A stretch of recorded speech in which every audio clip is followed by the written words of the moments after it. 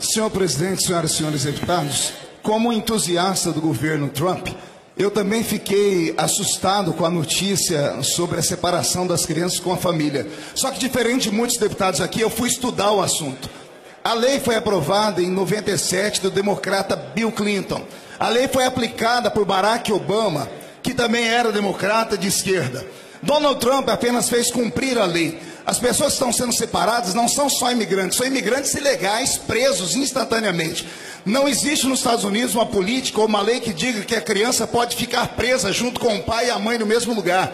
Então aqui está a mentira que a esquerda faz. A esquerda dissimula e estimula a mentira. Donald Trump hoje à tarde veio a público dizendo que ele vai mudar a lei. Já foi chamado ao Congresso Nacional. O Congresso está criando a lei e vai acabar com aquilo feito pelos esquerdistas democratas que criaram uma lei que separava as crianças dos pais. Então Donald Trump apenas cumpriu a lei agora vai desfazer isso, senhor presidente acaba de sair uma nova listagem de crianças brasileiras separadas dos pais nos Estados Unidos.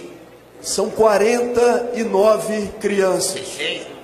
É inconcebível que o plenário da Câmara dos Deputados não se manifeste com contundência contra essa política bárbara que está sendo conduzida pelo governo do senhor Trump. Mas eu penso que nós temos aqui nesta casa ventrílocos de Donald Trump. O próprio jornal New York Times disse que a responsabilização que Trump quer dar a Obama para a apartação de crianças dos seus pais é uma política covarde e desonesta.